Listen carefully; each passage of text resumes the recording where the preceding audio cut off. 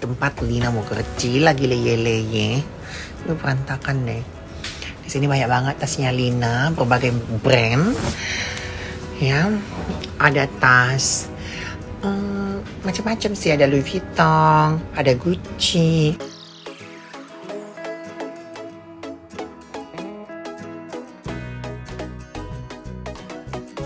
ada yang murah juga sih tapi mami udah cek cek cek cek cek as long semuanya ya kan mami nggak suka gitu loh anak online punya teman ala ala high class tapi tasnya itu palsu gitu loh.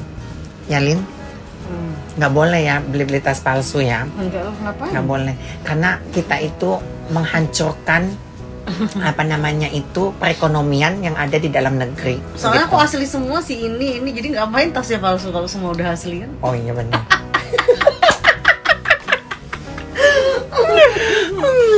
Original.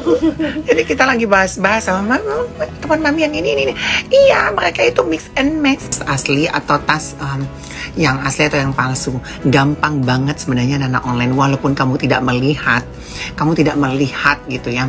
Um, tidak memegang tapi kalau ada yang namanya sosialita yang suka menter, suka pamer, ya, tapi tiba-tiba udah ditenteng tas tanpa unboxing, tanpa unboxing di store atau di resellernya, yaitu 100% dipastikan palsu. Itu aja cara membedakannya, gitu loh. Apalagi namanya mengaku ala-ala sosialita, tetapi ah, tiba-tiba udah ditenteng tuh Hermesnya, ditenteng itu Diornya, ditenteng itu, nah itu tandanya palsu. 100% bahkan 1000% pun dipastikan palsu. Itu aja cara membedakannya gitu loh. Karena yang namanya sosialita apalagi aktif di media sosial tidak mungkin dia tidak unboxing. Itu aja anak-anak online-nya per- perbedaannya. Itu yang pertama. Yang kedua ya orang-orang seperti mami online ini atau orang-orang di sekitar kita itu udah pasti bisa membedakan mana yang asli apa yang palsu gitu loh. Karena memang saling omongan anak-anak online apalagi yang pembeli penjualnya itu pasti "Eh, tapi jangan dibilangin ya tapi dibilangin seperti seperti itulah mereka saling omongin anak-anak online gitu loh. Makanya alhamdulillah wa syukurillah masya Allah ya.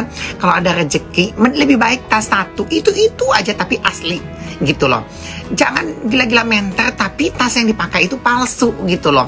Ya apa-apa itu palsu. Jangan deh anak-anak online ya. Nggak baik gitu loh ya kita yang berusaha mendapatkan tas yang asli jadi akhirnya palsu. Nggak usah kalian bilang isi paling asli. Memang iya harus si paling asli gitu. Nggak boleh uh, apa namanya untuk mendapatkan hanya pengakuan tapi kau tenteng kepalsuan gitu loh. Dan memang lagi viral waktu itu ya ada uh, salah satu pengusaha yang dekat sama artis-artis kan udah ketahuan gitu loh tasnya palsu. Banyak orang juga yang membeli tas dia gitu loh. Memang agak susah membedakan mana tas asli mana tas palsu. Makanya kalau beli tas asli itu harus lengkap semuanya. Baik itu dust bagnya boxnya resipnya ya siapa nama pembelinya dari tangan ke berapa itu harus jelas. Dan tentunya kalau beli itu harus hitam di atas putih gitu loh. Jadi satu saat nanti kita bisa spa ke luar negeri atau kita jual ke mana gitu kalau itu ketahuan palsu ya bisa di apa namanya dikembalikan uang gitu loh. Tapi lebih cari amannya ya cari reseller yang terpercaya dan seperti mami aja beli langsung ke toko. Kalau nggak dapat udah diem gitu ya. Seperti itu sih gampang ya. Gampang banget untuk membedakannya anak-anak online. Nggak sulit. Hey boys and girls, if you like our video, subscribe here.